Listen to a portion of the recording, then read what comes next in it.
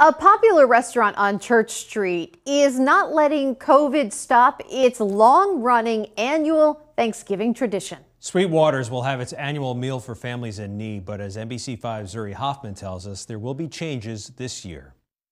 For the past 29 years, there hasn't been a Thanksgiving without a free Sweetwater's dinner and coat drive. I have a perfect spot out here where it's nice and warm. You're 30. I had a great, extraordinary time. Won't be any different. It's just a, a good way to give back to the community. There's a need out there. But like everything, owner David Melinkoff is making some changes to keep people safe during the pandemic. We'll socially distance people. We have masks to give people.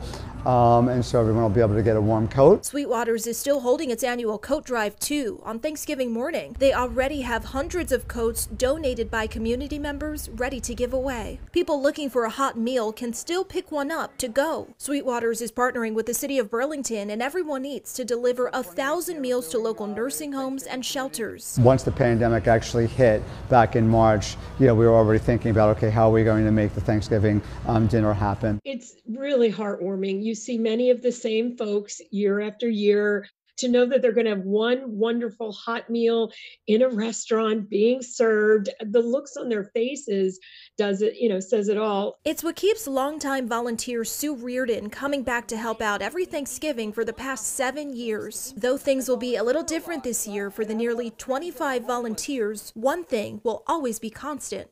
With everything that's changing in the world and everything that's stopping Dave is not, and Sweetwaters is not. We will continue. In Burlington, Zuri Hoffman, NBC5 News.